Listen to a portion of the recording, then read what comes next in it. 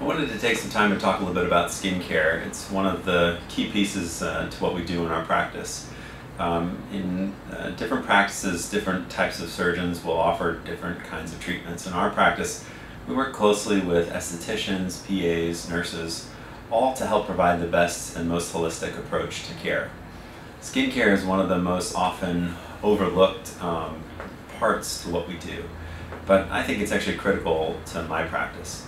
So we, we talk with patients a lot about what we do with surgery, but the, what we do with the skin afterwards is just as important.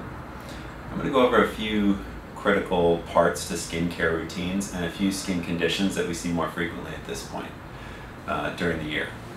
So uh, one of the first skin conditions I want to talk to you about is melasma. Melasma is a pigmentation disorder which increases pigment around the face in the areas that are exposed to the sun.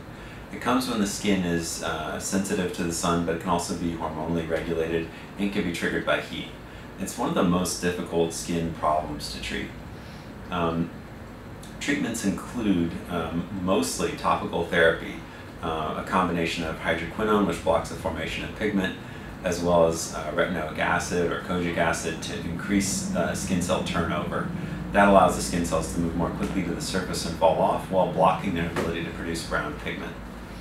This is a critical way to treat melasma. Now, patients often ask is there some sort of laser or uh, other kind of immediate treatment that I can use? And the answer is really not. Uh, there really aren't that many good and available treatments. You have to be very careful. Uh, BBL or uh, IPL therapies, photofacials, can temporarily improve the appearance, but can lead to rebound problems uh, and make the melasma worse.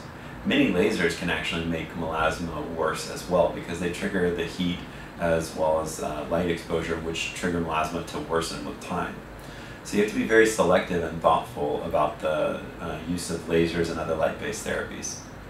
There is one laser that you can use, uh, which is a lower energy um, uh, bimodal laser. We call it clear and brilliant, um, and it's something that's a, basically a low enough level energy that can help with the browns and the reds without necessarily triggering, triggering a flare.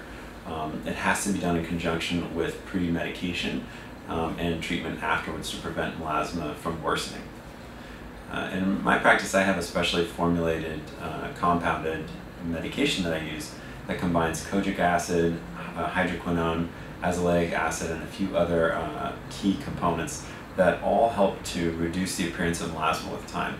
And we get it specially compounded from a pharmacy uh, for our patients.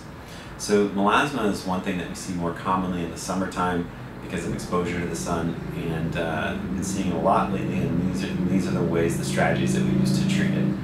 Um, other skin care conditions or other skin conditions that we see commonly are a, a, rash that appears just below the neck underneath the area where the jawline covers the neck, and we call that poikiloderma, which is a sun-related change to the neck, uh, which can cause uh, speckling and spotting, redness, and dark browns.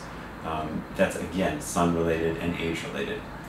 All age-related skin changes include dysregulation in pigmentation, which creates those brown age spots that we see, as well as dis uh, discoloration or red pigmentation changes from changes in the vasculature in the face, broken blood vessels and capillaries.